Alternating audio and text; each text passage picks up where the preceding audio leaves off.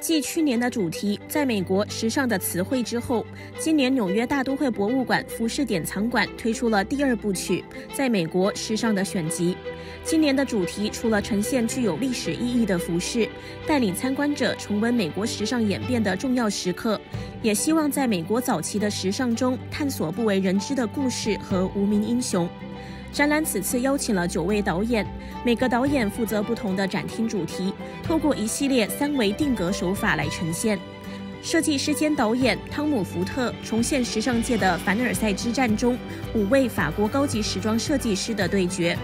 演员兼导演雷吉娜·金恩描绘19世纪早期弗吉尼亚州的富人家庭生活。导演马丁·史科西斯呈现20世纪美国设计师查理斯·詹姆斯的作品。导演们透过展览讲述各种各样的故事，从个人到政治，从风格到文化，从审美到意识形态。时尚的选集展览在五月七日开幕后会一直展出到九月五日。新唐人记者王于鹤综合报道。